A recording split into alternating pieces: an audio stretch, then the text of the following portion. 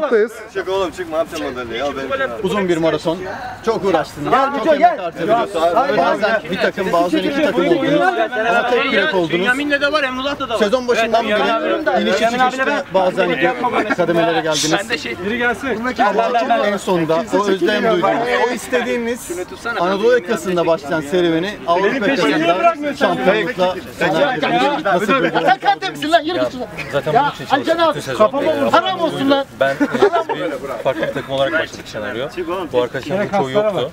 Ee, Ben 7-8 maç yaptım e, farklı bir takımla. Sonra bir grupla tanıştık. Ondan sonra e, ya oradan bozabiliriz. Çünkü kafamızda sadece ilk maçtan beri başlamak. Şampiyonluk var. Ee, mutluyuz, bunu hesaplıyorduk zaten. Ee, inşallah devamı gelir tabii bunun ilk son olması değil. Önemli olan bunu devam ettirebilmek. e, Şampiyonluğa. Ya bu şampiyonlukta da e, bazı gördüm. Ee, öncelikle babama çok teşekkür ederim.